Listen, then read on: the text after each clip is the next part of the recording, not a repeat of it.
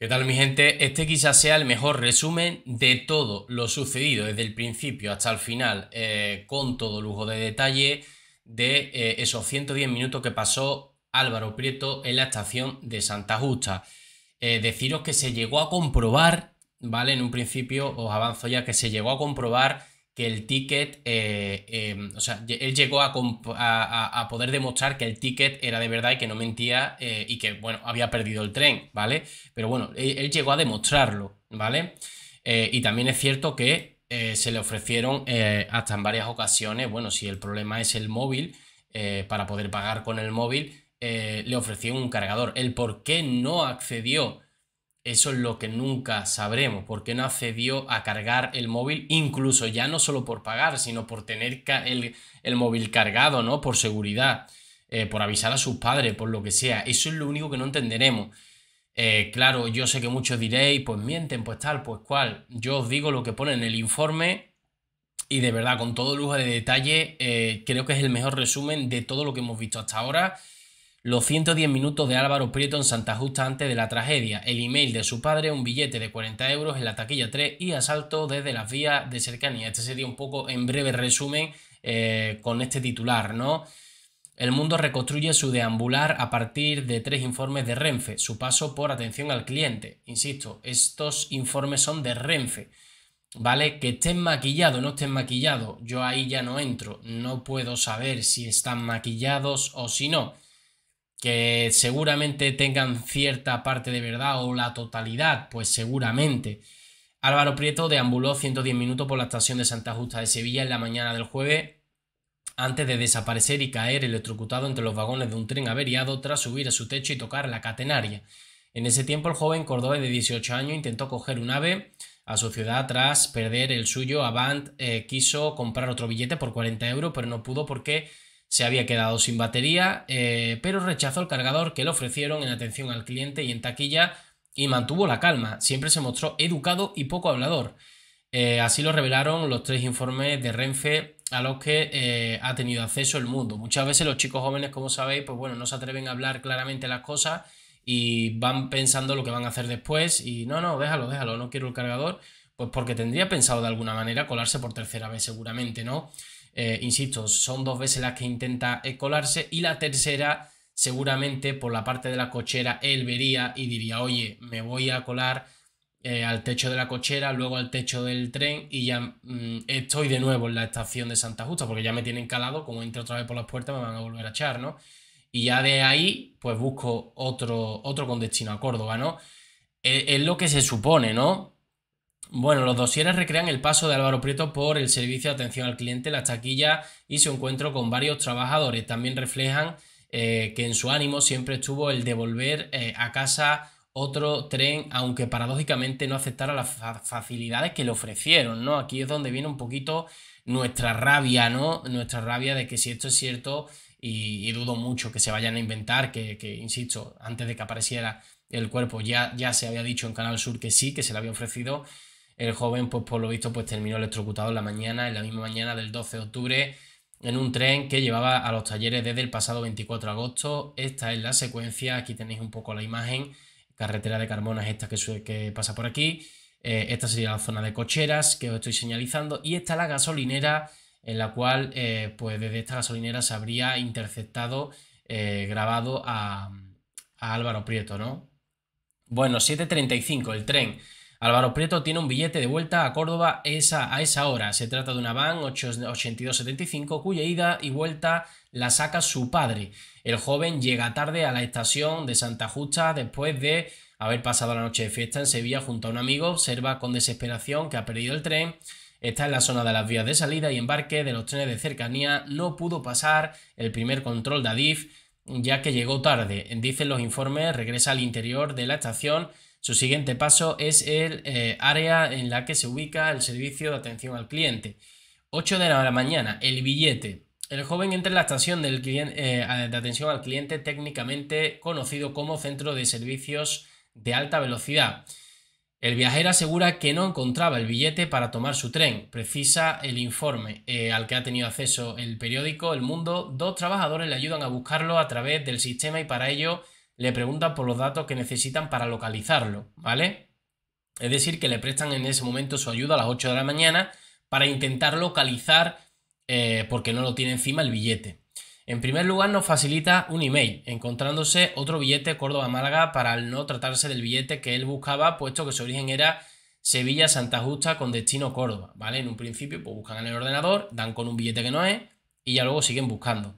Le preguntamos si era seguro que lo había comprado a través del canal de Renfe, a la que nos confirmó que sí, e incluso hizo mención a la, app, a la app. La búsqueda continúa por parte de los dos empleados de Renfe que requieren Álvaro Prieto más indicadores, es decir, más datos que puedan llegar a encontrar ese ticket, ¿no? Le piden, prosigue el informe, la tarjeta de crédito con la que realizó la compra del billete para destacar, destacan tener otra opción nos dicen que se trata de una tarjeta virtual señalando su teléfono móvil, el cual parece estar apagado, por lo que le ofrezco mi cargador e incluso la compañera le indica dónde lo puede cargar, eh, todo para encontrar su billete y poder eh, ayudarle a coger su tren. El viajero manifiesta que cree que no funciona y por lo tanto buscamos otras formas de poder ayudarle. Al no obtener resultados se hace eh, un segundo intento, los operarios prueban con los datos de la tarjeta que aparecían en el único billete que se había encontrado y aunque algunos dígitos aparecían codificados, se disponían de lo necesario para poder intentarlo, por lo que se preguntó que si recordaba el día que lo compró, al cual nos indicó que el martes, pero no hubo éxito en la búsqueda, por lo que esta opción eh, también quedó descartada. Bueno, finalmente Álvaro facilita la dirección del correo electrónico de su padre.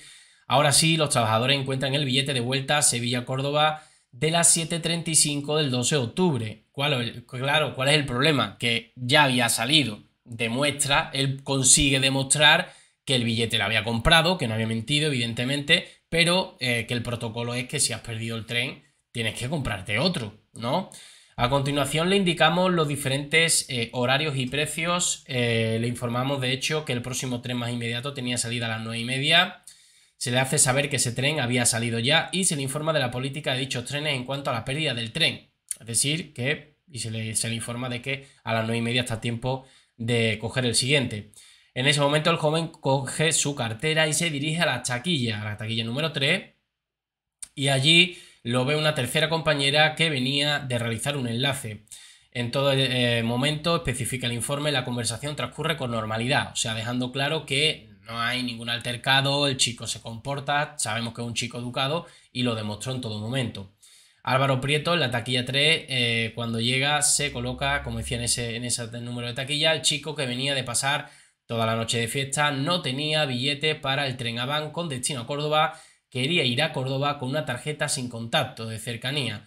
Un dispositivo, que, eh, un dispositivo para mejorar la calidad de los viajeros en las distancias cortas diciéndole a uno de los compañeros que con esa tarjeta no podía ir a Córdoba, ¿vale? Que no era, no era la adecuada y esa no servía. Le informaron entonces de que debía comprar un billete nuevo y de que el próximo eh, era un AVE y que su precio rondaba los 40 euros.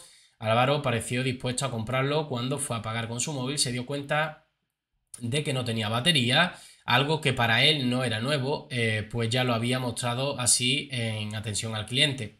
Se le dijo que si tenía cargador lo podía enchufar en cualquier enchufe de la estación, segunda vez que se le ofrece el cargador. Sin embargo, indica el informe de Renfe que el joven se marchó. En todo momento fue muy educado, poco hablador, pero a nosotros no nos pidió ningún tipo de, ayuda ni auxilio, ¿vale? Lo digo porque al final es verdad que ha salido mucha gente y yo lo entiendo, la rabia, mm, por qué no se le ha ayudado, por qué no se le ha prestado un cargador, por qué no... Pero bueno, es que tenía que salir eh, tarde o temprano Em, la, información de cómo había sido todo. O sea, no se puede especular con algo que no se sabe, ¿no? Asalto desde cercanía. Álvaro Prieto se dirige a la salida de cercanía que no tienen control acceso de viajeros y desde allí intenta pasar a la zona del AVE cruzando las vías a pie, llamando la atención de los vigilantes de seguridad. Esta información no se ha podido constatar, contrastar con ADIF, ¿vale? Por lo que no podemos confirmar su veracidad, dice el informe. Álvaro llega a colarse en un tren con destino Barcelona y parada en Córdoba. Los vigilantes de, eh, le siguen y le localizan en el convoy para el que no tiene billete. Le obligan a bajar y le recriminan el haber cruzado las vías del tren. Como es lógico, ¿no? 9.35, la salida. Las cámaras de vigilancia de la estación de Santa Justa le captan saliendo mm, hacia la avenida Kansas City. Ya no le vuelven a interceptar más. Por eso decíamos que esa segunda cámara, lógicamente, que era la única eh, posibilidad de seguir viéndolo, pues no había continuado la calle, la de la DGT, aquella famosa. ¿Por qué no la había eh, descubierto? Pues porque no había seguido, se había saltado el vallaje de alguna manera, ¿no? Según la hipótesis de los investigadores, el joven comienza a caminar en busca de un acceso a las vías sin ser detectado. A las 10 y 35, una hora más tarde, la testigo, una mujer, advierte a la policía de que eh, ha visto a un joven mm, vestido con la misma ropa que llevaba Álvaro Prieto caminando por la avenida Kansas City de Sevilla. Lo hace cuando su familia ya ha dado la voz de alarma y los agentes ya han iniciado su investigación. A las 11 y 40 del Luna aparece el cadáver de Álvaro un tren que había eh, trasladado al centro de tratamiento técnico el 24 de agosto. Está estacionado en la vía 1 de formación. El mismo día 12 de octubre el joven había eh, muerto electrocutado tras acceder a esa zona, eh, subir al techo del tren y tocar la catenaria. Yo me imagino que lo que quiso hacer fue saltarse la, valla por, por, una zona que la, la única zona quizás que para él fuera más accesible, ya que las vallas eran altas, pues, pues seguramente sería por la zona de cocheras, ¿no? Eh, y al saltar encima del tren, pues agarraría lo que fuera y ahí es donde sucedió todo.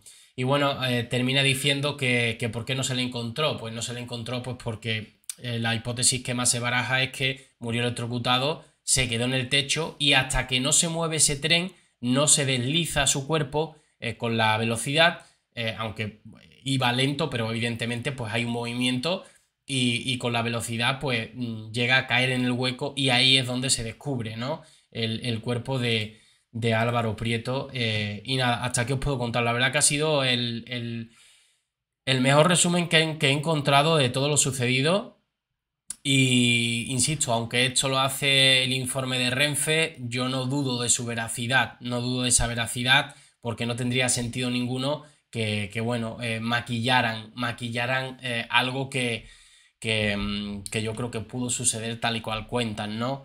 Bueno, eh, al final ya sabéis, ¿no? Por una imprudencia, pues, pues al final pues suceden estas cosas.